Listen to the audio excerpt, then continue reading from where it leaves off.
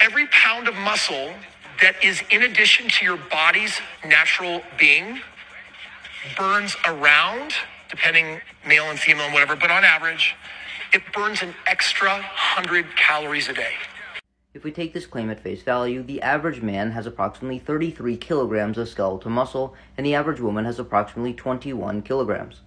Meaning that men would have a basal metabolic rate of no less than 7,260 calories per day, and women would have a basal metabolic rate of no less than 4,620.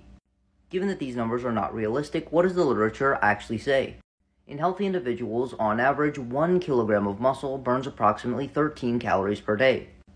And in obese people, 1 pound of muscle burns approximately 12.7 calories per day. If we put this into perspective, Nick Walker was said to gain approximately 100 pounds of muscle over a 10 year period which is approximately 45 kilograms of muscle and an additional 600 calories.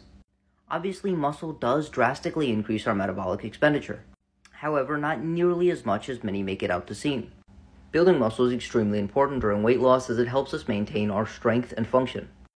But it does not drastically increase caloric expenditure, therefore, you would likely not be able to eat an additional 1000 calories if you put on 10 pounds of muscle. With that being said, if you would like an individualized approach to your nutrition and lifestyle to optimize your health, energy, and body composition, send me a DM to sign up for coaching.